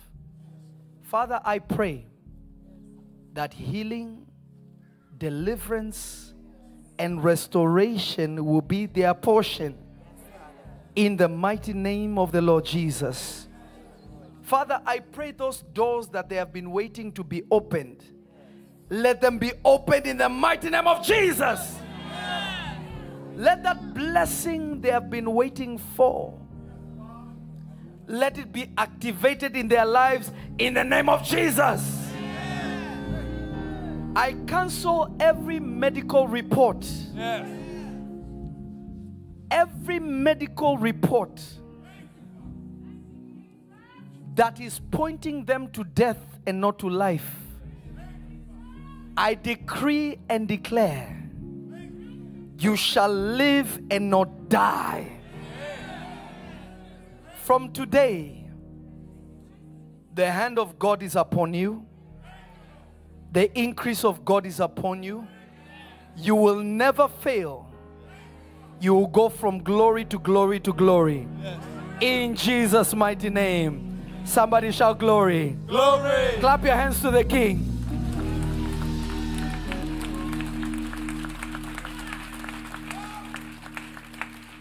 Again, happy Father's Day to you all.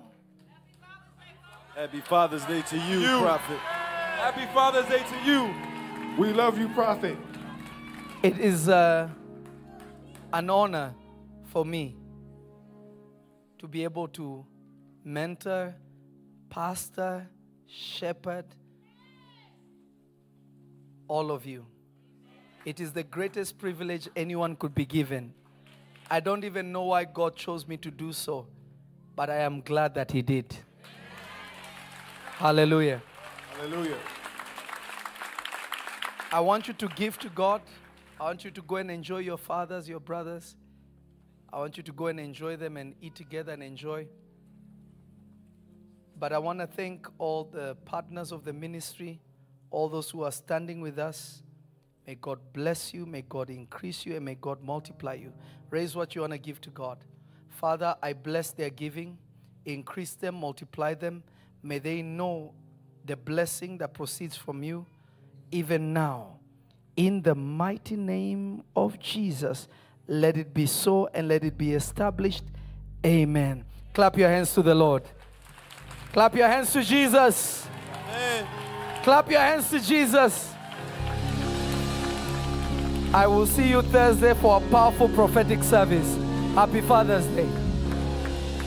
Hallelujah. Happy Father's Day. Happy Father's Day. Now we have a, a, a, photo booth set up for the fathers. You could take pictures with your family, with your children. Amen. And we also have a gift for all the fathers. Amen. Happy Father's Day. Praise God. Are we ready to dance as we come to give to the Lord? Amen, amen, amen. Happy Father's Day.